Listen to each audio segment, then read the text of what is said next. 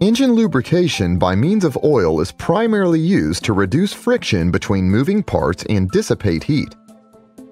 In this animation, we want to describe wet sump lubrication using a four-stroke engine with only one cylinder.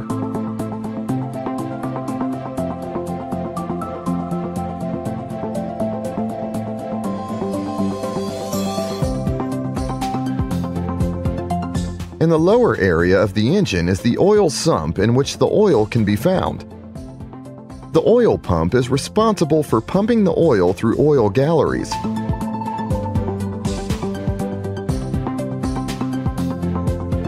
When the oil has become very hot after several cycles, it is cooled by an oil cooler. The oil is then pumped to the oil filter.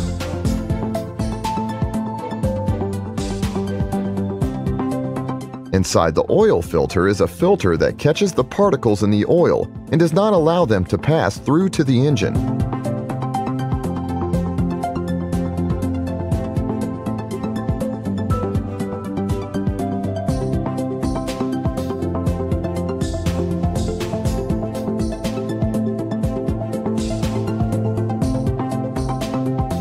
The oil flows from the outside into the oil filter, then runs through the filter, which is made invisible here, and flows through the center tube.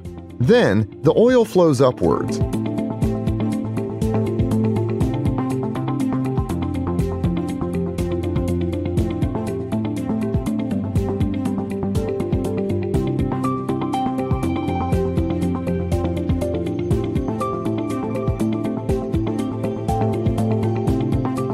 The oil flows to the engine where it is used to lubricate the crankshaft bearings.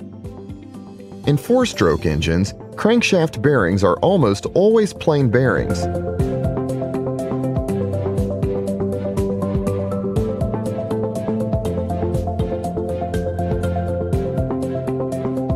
Unlike roller bearings, which use roller elements to move the inner and outer ring against each other, plain bearings use oil to form a lubricating film.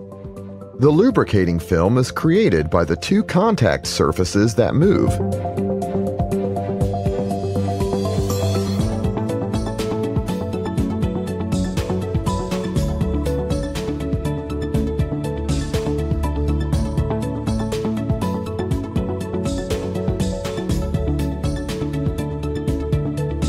The crankshaft has oil galleries so that the connecting rod bearing can be supplied with oil. In diesel engines, the connecting rod can also have an oil gallery to use the oil for cooling and lubricating the piston and the piston pin.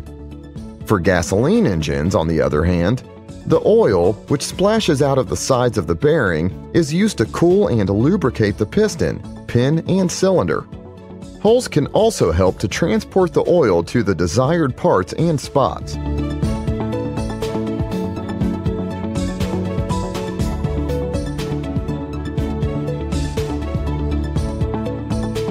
The piston has one or two compression rings and one oil scraper ring. The oil scraper ring is responsible for controlling the oil balance at the piston and the compression rings. Excess oil flows inwards through holes, especially when the piston is running down. Then, the oil can drain down from the piston into the oil sump.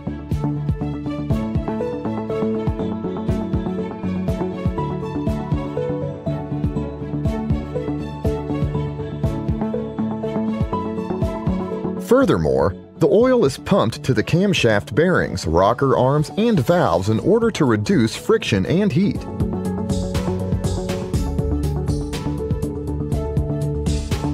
From here, the oil flows into the oil sump via oil galleries.